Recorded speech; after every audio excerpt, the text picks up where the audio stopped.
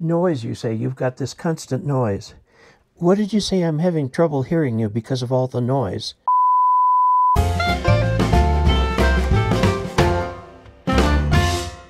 Hello, Augies Worldwide. I'm Dave Casler, amateur radio call sign KE0OG, here with another episode of Ask Dave.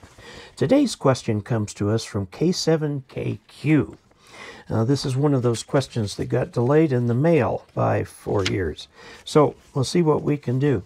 I'm sure he's already solved his problem, but some of you may be having the same problem, so let's see what we can do. He likes 10 meters. It's his favorite band. Four years ago, it would have been an up and coming band. Now, as the sunspot cycle starts to fade away into nothingness, 10 meters won't be quite as exciting. But he has an ICOM 718 which is their uh, beginner rig. It's a venerable rig, been around for a very long time. I've talked to lots of people who have them, and they like them. It's a straightforward rig to operate and has all the usual bells and whistles that you would expect. Now, he has an attic antenna, 10 meter antenna. So it's five meters or about 15 feet long. That's not real long. And he's got it up above the uh, ceiling joist by about six feet.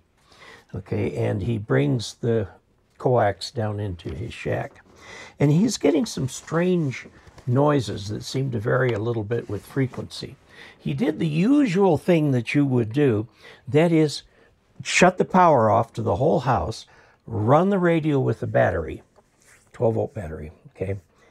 And that should give you your quietest. If you're still hearing the noise, then the source is outside of the house in some way, shape, or fashion, unless there's something like the internet or something that, that is uh, creating noise that's on even though you've turned the power off to the house. He sees some very interesting things. If he's getting S9 noise and he hits the 20 dB, that should be about three S units of attenuation.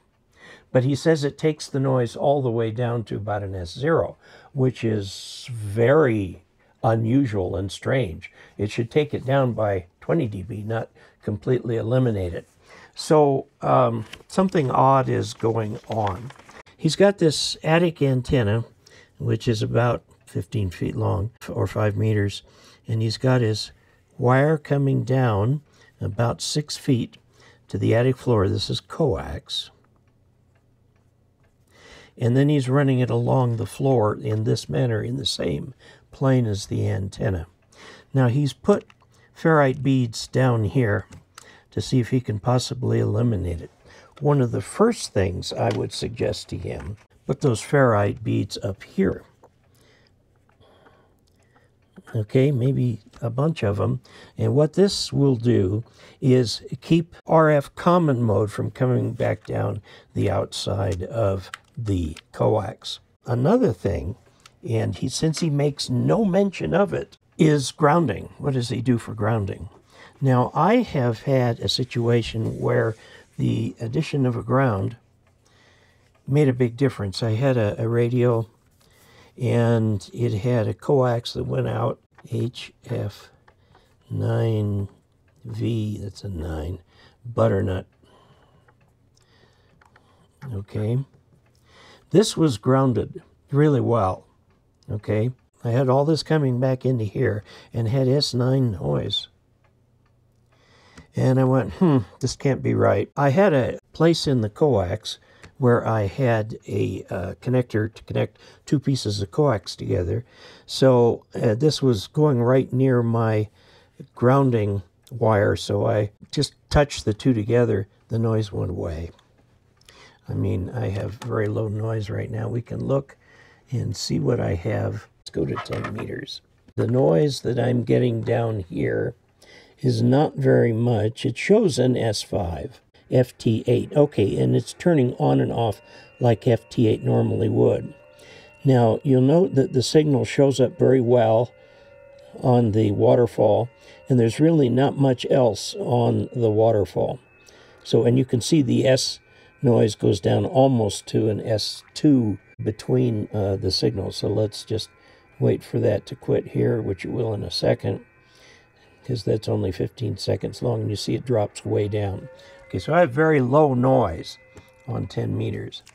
Now, as I mentioned earlier, this took the noise way down to, you know, like an S2 or an S3 simply by grounding.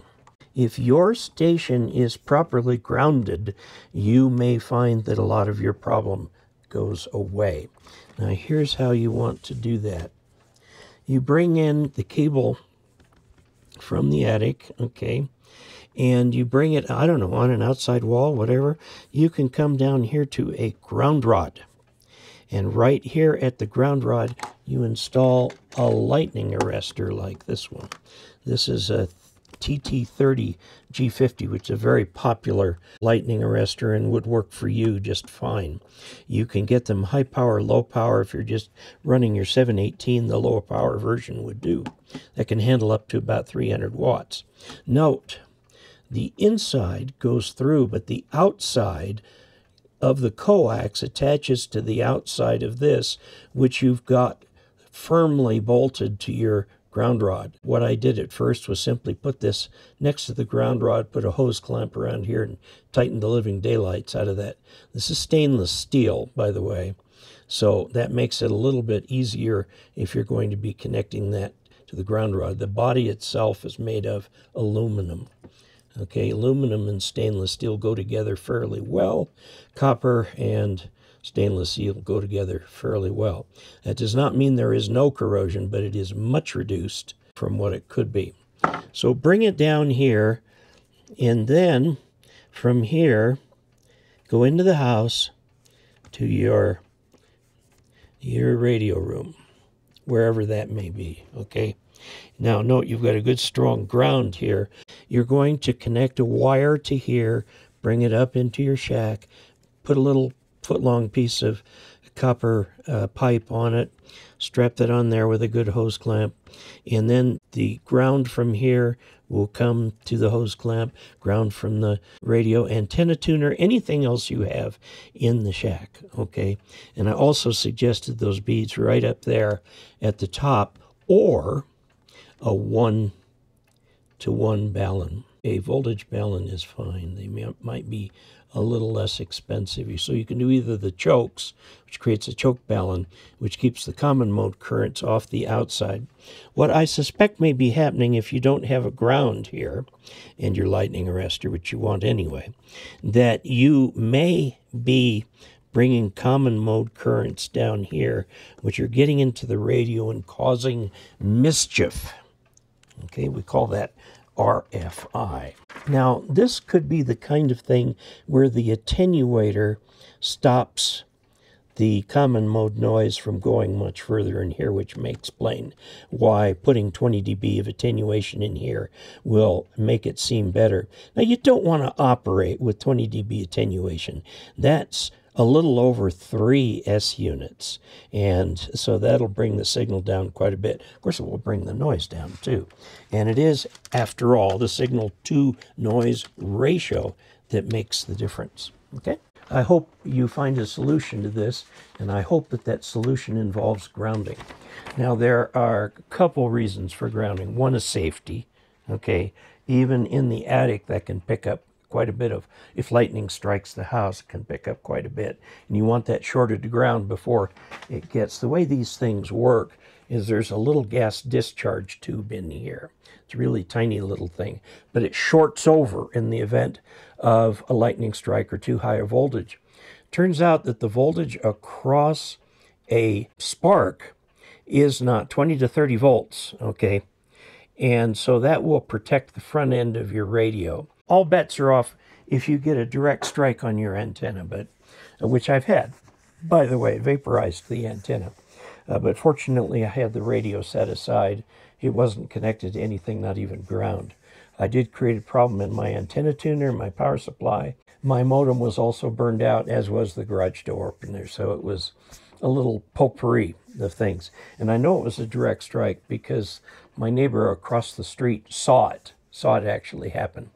So there you have it. I hope that that will give you something that you can work with. Okay, put the beads up at the antenna to keep the common mode currents off of the coax outer shield and run it through a lightning arrestor attached to a ground rod. Now, the book that talks all about grounding and bonding for amateur radio is this one from the ARRL, which is easy to get. It's the second edition. Get the second edition because quite a bit has been added. Grounding and Bonding for the Radio Amateur by H. Ward Silver N0AX. There's a lot of stuff in here. So the first reason is safety. The second reason it can help with stray noise by getting that stuff down to ground. I suspect that could really help you, so give it a try. So there you have it. Now, we have a special going on right now. If you join Patreon at any level, or if you upgrade any level in Patreon, or if you do it through PayPal, become a new PayPal supporter, there's instructions on the website, or become a channel member, or anything like that, or if you offer a large tip, we will send you a genuine U.S. currency $2 bill.